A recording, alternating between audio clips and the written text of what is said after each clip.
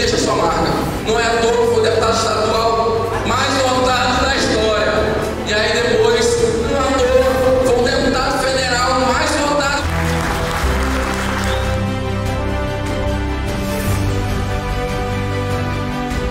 Aonde a administração do PL chega, chega cidadania,